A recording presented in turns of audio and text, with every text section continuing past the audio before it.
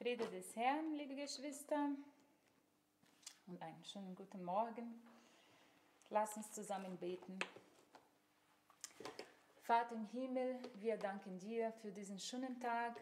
Danke, dass wir hier in deinem Haus sein dürfen. Danke für dein Wort für uns heute. Wir wollen von deinem Wort lernen, Vater. Im Namen Jesus. Amen. Schlag bitte Bibel, deine Bibel auf in Psalm 126. Wir lesen die Versen 1 und 2. Als der Herr die Gefangenen Zion zurückführte, waren wir wie Träumende. Da wurde unser Mund voll Lachen und unsere Zunge voll Jubel. Da sagte man unter den Nationen, der Herr hat Großes an ihnen getan.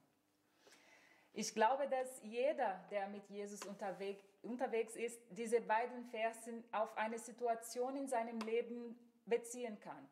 Zum Beispiel, als der Herr mich aus dieser Gefangenschaft geholt hat oder als der Herr mich äh, von dieser Krankheit äh, geheilt hat oder als er meine Ehe oder die Beziehung zu meinen Kindern oder meinen Eltern wiederhergestellt hat als der Herr mich verstehen ließ, dass er mich liebte und mir vergab und mir ein neues Leben geschenkt hat, ich war wie ein Träumender. Jeder kann sich so eine Situation vorstellen. Es war so eine Freude, dass wir es nicht erklären können. Ich konnte nur lächeln und Gott Lobpreisen und die anderen Menschen, die diese Veränderung in meinem Leben gesehen haben, mussten sogar anerkennen, der Herr hat wirklich Großes in ihrem Leben getan. Und ich antwortete, das hat er wirklich gemacht und deshalb bin ich froh. Aber dann verging die Zeit. Das große Wunder, das Gott vollbrachte, wurde Teil meines Lebens. Und mit der Zeit wird es fast zu einer Selbstverständlichkeit.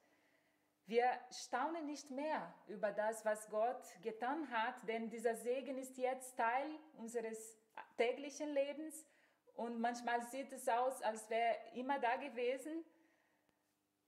Er macht uns natürlich noch glücklich, aber es ist auch kein Grund zum Tagträumen, Lächeln, Lobpreis.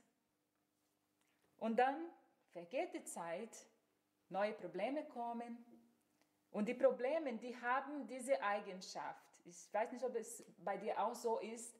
Die aktuellen Probleme scheinen so immer größer zu sein als die vorherigen. Es ist immer wichtiger und schlimmer bis zu dem Punkt, an dem meine Sorge um ein Problem meine Freude völlig stehlen kann. Ich höre auf, manchmal zu lächeln, ich höre auf, Gott zu loben und zu danken, denn meine Gedanken werden von einer Situation eingenommen, die mich nur momentan plagt. Und ich denke nicht mehr an alles, was ich schon bekommen habe und kann mich nicht mehr freuen. Ich weiß nicht, ob es dir auch so geht. Also, ich will auch hier nicht sagen, sei doch nicht so, weil ich selbst so ein Mensch bin, aber ich möchte mit dir heute teilen, was der Heilige Geist in dieser Hinsicht zu mir gesagt hat. Das Erste ist, dass wir uns ungeachtet der Umstände freuen dürfen und sollen. Ein großartiges Beispiel dafür, das ich in der Bibel finde, ist Paulus. Er schrieb in mehr als einem seiner Briefe, freut euch immer im Herrn. Und das schrieb er aus dem Gefängnis heraus an Gemeinden, die Verfolgung, unter Verfolgung waren. Und dann fragen wir uns, ist das überhaupt möglich, lieber Bruder Paulus, uns immer zu freuen, wenn wir im Gefängnis sind, wenn wir unter Verfolgung sind? Einfach Gott loben und, und sich freuen. Das hat er selbst ausprobiert. Aus dem Gefängnis heraus fing er an, Gott zu preisen, Gott zu loben. Hätte er es nicht gemacht, würde er eine der denkwürdigsten Erfahrungen in seinem Dienst verpassen, nämlich das Erdbeben, das alle Ketten zerbrach. Ich glaube, Paulus würde antworten, Leute, mach das, ich kann es nur empfehlen. Es ist wirklich krass, was passiert dann. Zweitens, Erinnere dich an die Segen und erzähle sie. Gott hat zum Beispiel für sein Volk Gedenkfeste eingerichtet, zum Beispiel das Passafest, damit das Volk Israel für immer die Befreiung aus Ägypten feiert und den Bund, den Gott mit ihm geschlossen hat, nie vergisst. Jede Generation sollte sich daran erinnern. Es ist wichtig, dass wir auch Gottesdienste zur Danksagung feiern, in der Familie, in der Gemeinde, zwischen Freunden. Wenn wir Zeugnis geben und den Segen berichten, die wir empfangen haben, bauen wir unseren Glauben auf und auch den Glauben von anderen. Das ist sehr wichtig. Und der dritte Punkt ist, sehe weiter und glaube an den Gott, der deinen Samen wachsen lässt. In den Versen 5 und 6 vom Psalm 126 äh, können wir zusammen lesen, sagt der Psalmist, die mit Tränen sehen, werden mit Jubel ernten. Weinend gehen sie hinaus und streuen ihre Samen. Jubelnd kehren sie zurück, wenn sie die Ernte einholen. Ich weiß nicht, was du gerade siehst, aber wenn, die, wenn dir das Sehen schwer fällt, wenn, wenn es dir wehtut oder wenn du gerade weinen musst, ich wollte dir heute nur sagen, gib deinen Samen trotzdem nicht auf. Der Psalmist sagt, dass er keinen Zweifel daran hat, dass derjenige, der mit Tränen sät, mit Freude zurückkehrt, wenn er die Ernte bringt. Und er weiß das, weil er das auch so oft mit dem Volk Israel erlebt hat.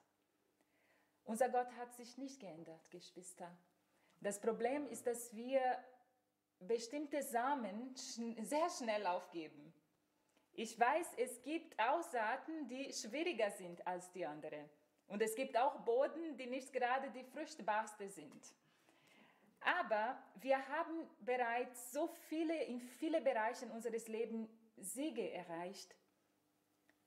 Und es gibt bestimmte Bereiche, in denen wir selbst Gottes Handeln im Weg stehen. Wir denken so, ah, das bringt sowieso nichts, ja, lassen wir es lieber so stehen. Es liegt nicht nur an, an mir, da gibt es auch diese andere Person, die will sich auch nicht verändern, lassen wir das. Nein, wir sehen weiter, wir tun unseren Teil und lassen Gott seinen Teil tun. Wenn es darauf ankommt, machen wir es, wie der Psalmist sagt. Wir gehen weinend hinaus und streuen unsere Samen. Wenn wir aber die Ernte einholen, kehren wir dann bestimmt jubelnd zurück. Und wir werden wieder wie die Träumende sein. Und die Menschen werden sagen, Mann, der, er hat was geerntet. Und wir werden sagen, allerdings, weil Gott ist gut und treu. Amen. Dann freu dich, ungeachtet der Umstände, erinnere dich an unseren Bruder Paulus. Wir haben viel, viel mehr Gründe zur Freude als zur Traurigkeit. Lass uns dankbar sein und an alle Segen denken, die wir schon erhalten haben. Lass uns auch Zeugnis geben, damit wir unseren Glauben und den Glauben von anderen aufbauen können. Und hören wir nicht auf zu sehen und an den Gott glauben, der diesen Samen wachsen lässt. Amen. Amen. Lass uns beten.